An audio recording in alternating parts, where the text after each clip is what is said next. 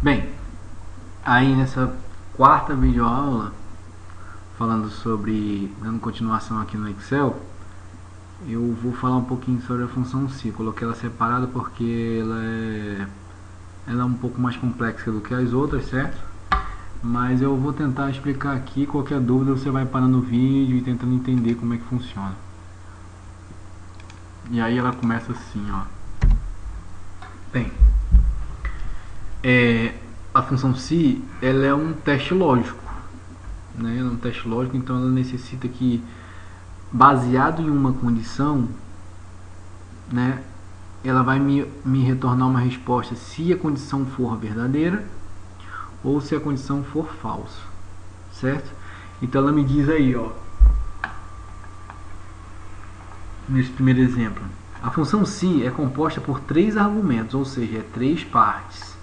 Uma situação que é o teste lógico. Nesse teste lógico, dica, nós só podemos utilizar maior, menor, maior igual, menor igual, igual ou diferente, que já foi mostrado na primeira aula de Excel, certo? Então, aí, aí você vai se basear assim, bom, eu, assim como eu tenho nesse exemplo aqui, ó, o teste lógico aqui nesse exemplo é se A1 é maior do que A2, ou seja, sinal de maior aqui é o que separa a pergunta. Certo? Então, você vai ver que ele diz ali para mim assim, ó, se é composta por três partes. Quais são as três partes? É o que fica antes do primeiro ponto e vírgula, é o que fica bem no meio e é o que fica no final. Certo?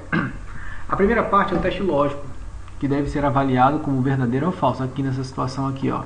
Então, se por um acaso, né, baseado naquela planilha que nós estamos utilizando, vou utilizar aqui a plan 2. Pronto. Certo? Aumentar um pouquinho aqui para você. Então ele diz assim, ó, aqui nessa situação aqui, ó, se A1 é maior do que A2, ele vai, ele vai me retornar uma resposta, ó. Por que falso? Se eu colocar aqui A1 como número 3 e A2 como número 5, a resposta é falsa. Por quê? Porque A1 não é maior do que 2. Agora, se eu alterar o, o valor aqui, ó, sinal de menor, a resposta será verdadeira. Então isso é uma coisa que o Excel já me dá automático, o verdadeiro e o falso. Assim como ele trata o verdadeiro como número 1 e o falso como número 0 certo? É como a gente pode ver no exemplo aqui, ó. Se eu colocar igual verdade, verdadeiro mais 8, a resposta é 9, porque ele entende que o verdadeiro é o número 1. Ok? E se eu colocar aqui falso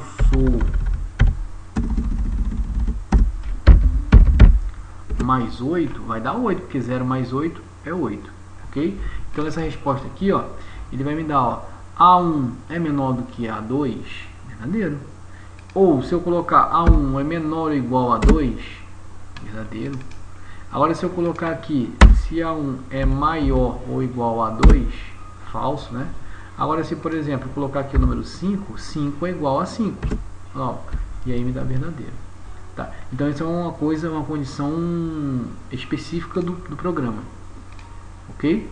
Então essa é a condição. Então, se essa situação for verdadeira, ele vai me dar verdadeiro, mas eu posso colocar aqui como uma segunda parte, ó, o segundo argumento após o ponto e vírgula representa o valor se verdadeiro, ou seja, o valor contido no segundo argumento é a resposta final se a função for verdadeira. Né? Então, aqui nessa situação, ele está me dando aqui, ó, oi. Então, se A1 for menor do que A2, a resposta é oi. Lembrando, se for texto, eu coloco entre aspas dupla. Se for uma referência, eu coloco a célula. Ok? E a terceira condição, o terceiro argumento, representa o valor se falso, ou seja, o valor contido no terceiro argumento é a resposta final se o teste for falso. Então aqui é o seguinte, se A1 for maior do que A2, a resposta é oi. Se A1 não for maior do que A2, a resposta é tchau certo? Aí, retornando para o exemplo, se eu por um acaso colocar aqui, ó, igual se A1 for maior do que zero, e aí eu boto a resposta. Ok. Se não for, mentira. Repara, tá entre aspas dupla. Ó, ok, porque A1 é maior do que zero. Agora, se eu colocar aqui, por exemplo, menos 1, mentira, porque A1 não é maior do que zero. Ok? Então aqui eu botei entre aspas dupla. Agora eu posso muito bem pegar uma referência, ó, certo? Ó, por exemplo, aqui dentro da célula 5 colocar o OK e aqui dentro da célula 6 colocar mentira. E aí como eu vou referenciar, ó, eu não preciso de aspa dupla, eu só coloco só o valor daqui, ó, de A5 e no outro eu coloco o valor de A6. Então, se A1 for maior do que zero, vai aparecer o que está contido em A5. Se não, o que está contido em A6. Olha lá. Mentira. Ok? Então aqui eu tenho um exemplo. Ó. Se A1 é maior do que A2, oi e tchau. Aí A4 é maior do que 3? Sim, é verdadeiro. Ó. Buscar o valor que se encontra no se verdadeiro, que no caso é oi. A resposta é oi. Nesse outro caso aqui, ó, se A3 é maior do que A4, a resposta é 50. Se não, 250. Então aqui, ó, 2 é menor do que 1? Não. Então não vai ser 50, vai ser 250.